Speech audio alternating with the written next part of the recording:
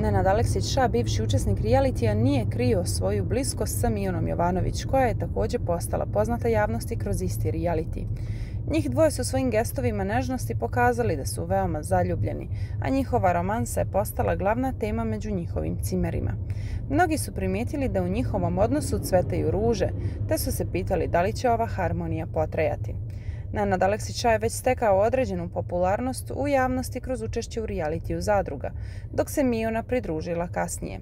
Njih dvoje su brzo pronašli zajednički jezik, a njihova romansa je postala centralna tema u kući.